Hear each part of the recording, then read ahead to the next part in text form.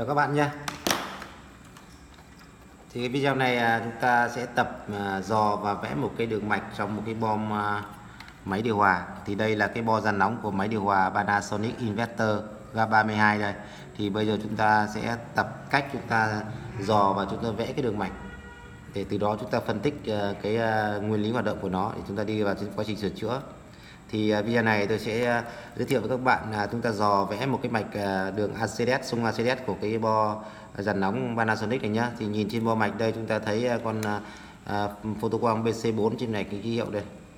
Thì bây ta sẽ dò cái đường này xem nó kết hợp những linh kiện nào để tạo thành cái mạch xung ACDS nhá. Để gặp trường hợp cái xung ACDS đây lỗi chúng ta có thể xử lý nhanh nhá.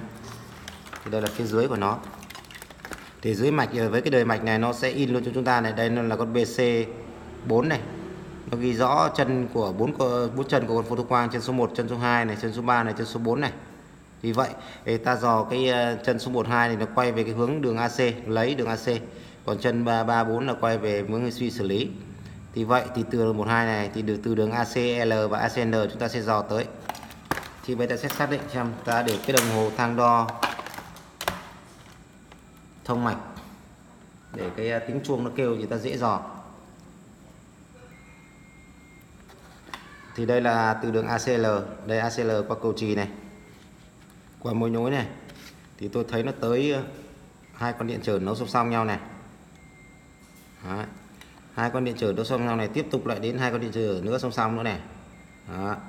thì hai đầu con điện trở bên kia thì nó sẽ tôi thấy đo thế nó đi vào chân số 1 à, thế là tôi đã vẽ được một đường. Thì vậy như thế này. Từ đường ACL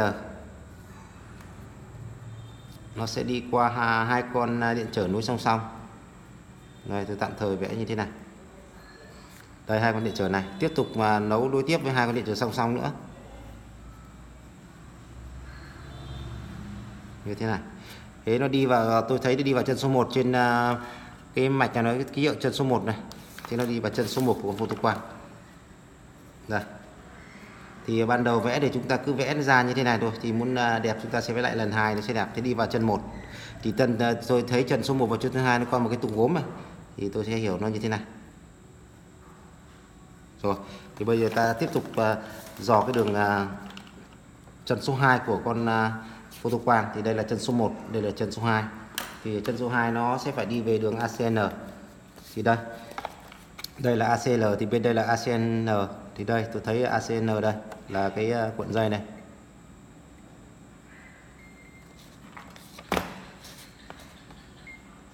Qua cái mối nối này.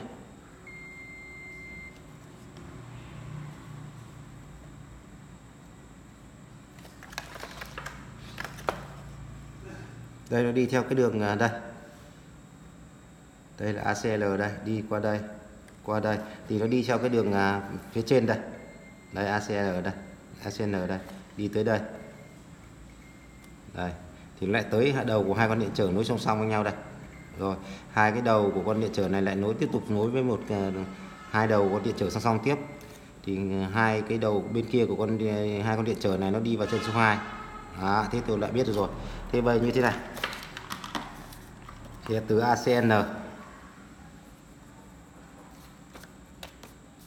rồi nó sẽ đi tới giống hệt như trên cũng là hai con điện trở nối song song nối tiếp với hai con điện trở nối song song nữa. Như thế này.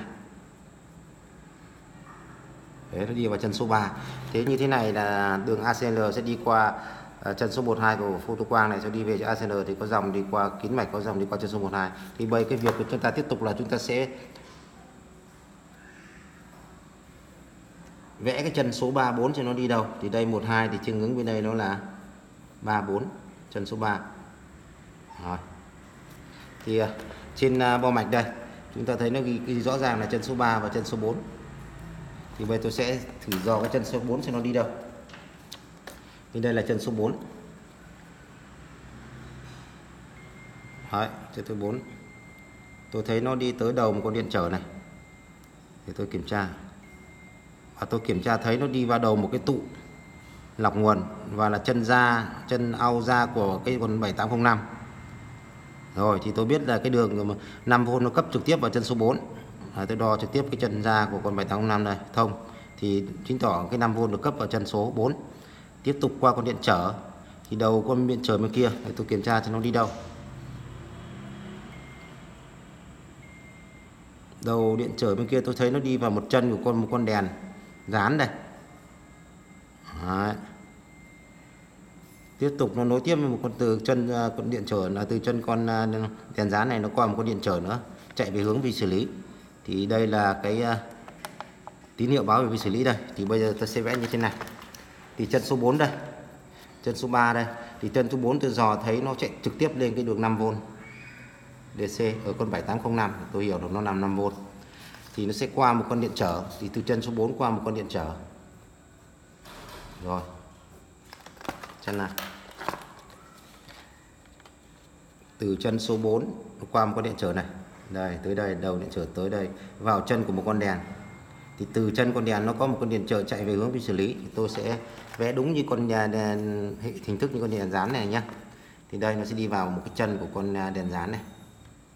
Đấy, vẽ giống à, trong bo mạch nó có ba chân như thế này. Thì từ 5V nó qua con điện trở vào một chân, tiếp tục nó có một con điện trở này nữa.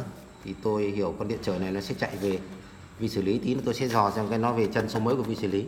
Thì bây tiếp tục, đó là xong cái chân số 4 tí nữa tôi dò nốt cái đường vi xử lý này. Thì bây giờ ta dò nốt cái chân số 3 cái chân số 3 có photo quang đây nó cũng ghi trên mạch rõ ràng này, thì ta sẽ dò nó xem sao.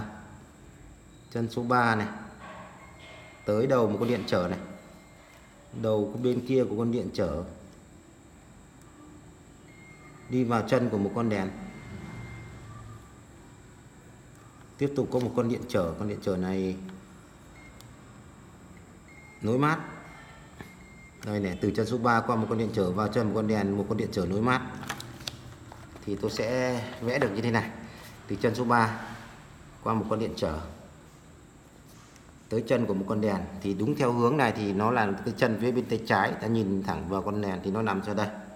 Thì có một con điện trở nối mát. Rồi.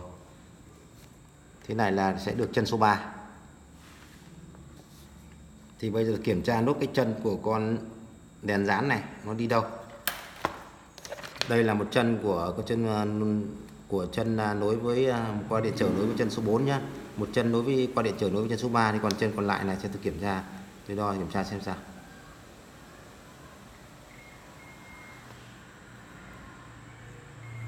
Còn chân số 3 của còn à, chân còn lại của con đèn dán này tôi đấy đo thông với mát thì tôi hiểu được là cái chân này nó xuống mát. Thì nhìn vào cái à, sơ đồ chân của con à, đèn dán này thì chúng ta cũng biết được nó là con đèn thuận hành nghịch. À, thứ nhất có một chân nối mát một chân cấp nguồn một chân à, điều khiển thì chân thứ ba số qua hai con điện trở điều khiển đây là chân B. Đây là chân E và đây là chân C, đây là con đèn nghịch. Tín hiệu được lấy ra chân C và được điều khiển từ chân B, từ con chân số 3 phun quang và chân E nối mát. Đấy. Thì bây giờ cái đường này nó sẽ về vi xử lý. Thì nếu chúng ta muốn biết cái đường xung ACS này nó về chân số mới của vi xử lý thì bằng cách chúng ta sẽ đo nó sẽ sẽ ra thôi. Thì đây từ chân à, của con đèn này, nó qua một con điện trở, tới một điều con điện trở đây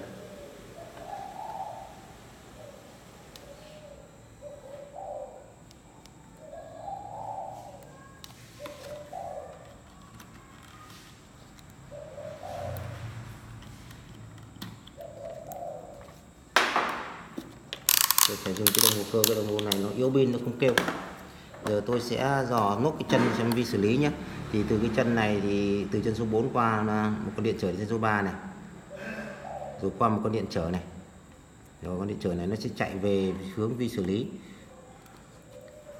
Thì để muốn biết được cái chân này nó là chân nào của con vi xử lý nhận thì chúng ta sẽ, bằng cách chúng ta sẽ dò thì trên con vi xử lý này nó có đánh dấu từ chân số 1 cho đến uh, chân số 80 đây tôi sử do thế này nhé cho nó đến đường con chân nào nhé à, vậy tôi đo đầu cái điện trở từ chân của con đèn ra. Thì tôi đo nó thông với chân số 3 của con vi xử lý. Trên đây nó ghi rõ ràng cứ chân một cách năm một cái vạch là 5 chân. Thì đây tôi từ đây số 1 2 đây số 3 tôi thấy thông với thông với uh, cái chân số 3 thì tôi hiểu được là chân số 3 là nhận xung ACS vì vậy thì tôi hiểu đây nó là chân số 3 bởi vì xử lý thì vậy à, thì thông qua chúng ta cách chúng ta dò và dùng cái đồng hồ và chúng ta vẽ như thế này ra, chúng ta đã vẽ ra được cái mạch, thì bây từ cái mạch à, cơ bản này thì bây giờ ta muốn đến đẹp, ta muốn à, thì ta sẽ vẽ lại một lần nữa. Ta sẽ điền cái chỉ số của điện trở những cái linh kiện này.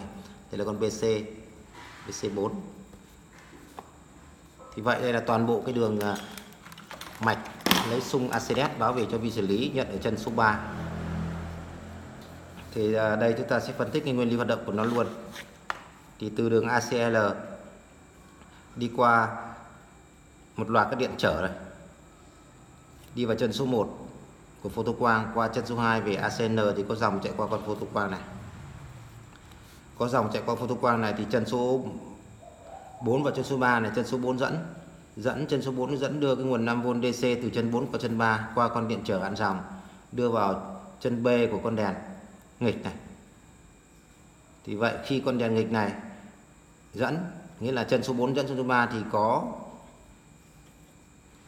lệnh cấp cho chân B này, có điện tích cấp cho chân B này, thì con đèn nghịch này dẫn dẫn thì nó đưa từ chân C xuống chân E. Thì lúc này cái đường 5V của chân C nó sẽ được nối xuống mát qua chân E. Thì lúc này vi xử lý sẽ nhận được mức thấp là không thế tương như vậy, khi dòng điện ngừng, thì con à, chân 12 của photo qua ngừng dẫn, thì chân 43 ngừng dẫn, thì thông qua điện từ 5V thông qua con điện trở này, thì ngay ở chân à, C của con à, đèn này thì vẫn có vôn. Thì lúc này chân vi xử lý số 3 lại nhận được mức cao, đó là 5V thì tương tự như vậy, nó cứ lên xuống như đây này là cái xung điện mức cao mức thấp. Chúng ta hiểu là không có không có tương ứng là 5V và không V không V và 5V tương ứng với cái đường dòng điện AC nó chạy qua chân số 12 thì chân số 4 dẫn số số 3 thì tương ứng cái đèn đóng cắt thì này nhận được cái xung điện tương ứng với cái tần số của cái dòng điện AC đưa vào. Thì đây là toàn bộ cái mạch của cái xung ACs của trong cái máy Panasonic uh, Inverter GA32 này nhá.